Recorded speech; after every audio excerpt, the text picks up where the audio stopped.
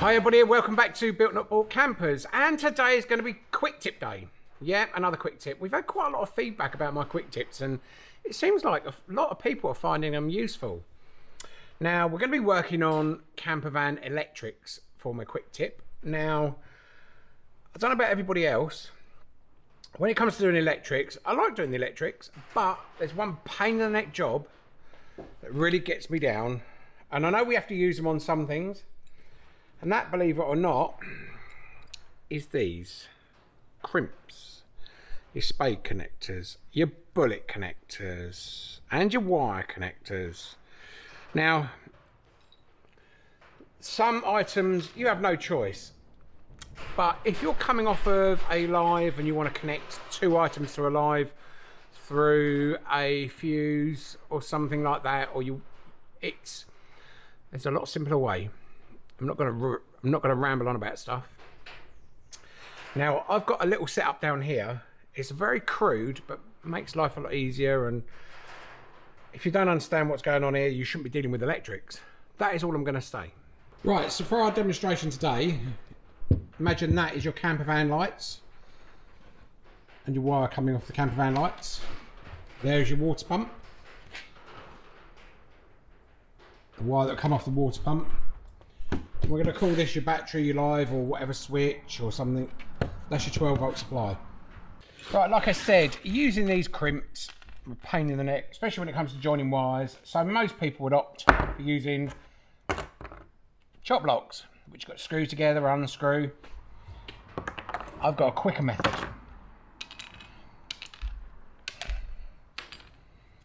And it's as simple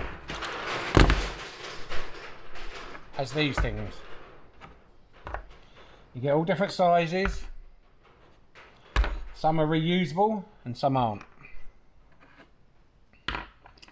So when I want to join into wires or join wires together or pull one light, pull two or three lives off of one live point, I use these. They're also good for isolating wires if you're not using a live wire anymore. So let's say for instance, here's your live wire, got a bare wire, the quickest and easiest way to isolate that.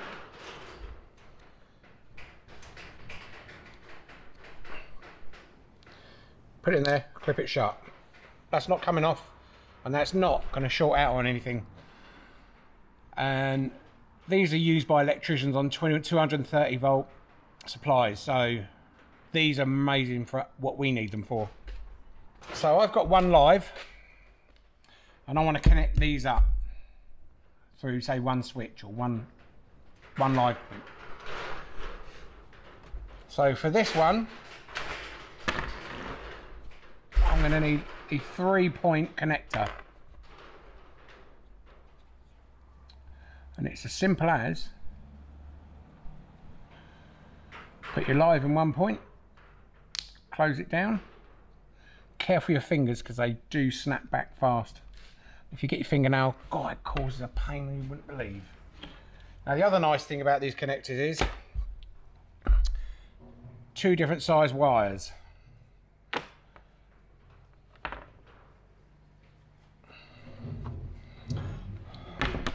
So put my fuses through there. Like so. And they're going nowhere. So if I strip the ends of these fuses,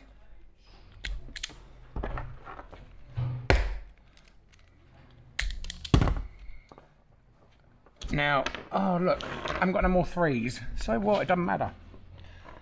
We could even use this one. And this has one, two, three, four, five, six, seven, eight points on. So you can put that in there.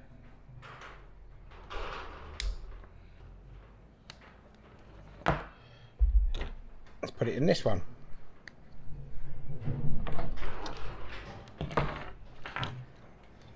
So your lights goes up to one point.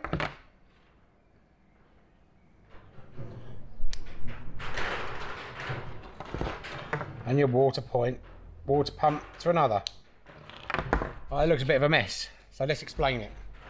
So your live goes into that junction, which you provide two lives going through two fuses. which then go to two more of these blocks and go out to your devices. Let me simplify it and do it just on one device. We'll take, them, take one out of the equation. Ignore the water pump. So there you go. The live comes out your battery, off your switch, whatever. You have a switch in the middle.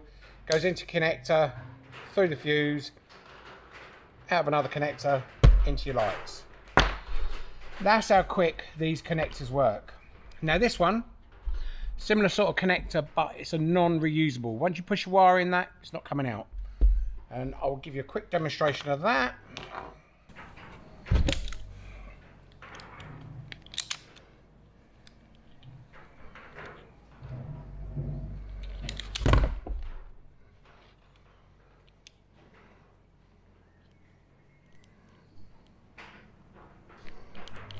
And there you go, it's not coming back out. There's no way to release that. There's only one way to release it. Let's cut it off. Right, so that's my quick tip for today. Very crude, I know with these, very, very crude. But these are called Wago connectors. Now, for me, and one of my friends I've spoken to recently, he said to me, and I say the same, these are a game changer when it comes to wiring your van. It can make your life a hell of a lot simpler than it used to be. If you don't believe me, go and buy yourself some. I will put a link in the description below um, to these where you can get them from. And believe me, they do all sorts of sizes. They do kits with all sorts of sizes or single sizes. I love them. They've made my life a lot easier and a lot quicker. So when it comes to building your van, you don't want to be wasting your time on stuff that you don't need to. Right, so that's it for today, and that's it from Built Not Bought Campers. I really hope you enjoyed it. Please let me know. Anyway, hope you're all staying safe, hope you're all staying well. Most of all, staying very happy. And bye for now.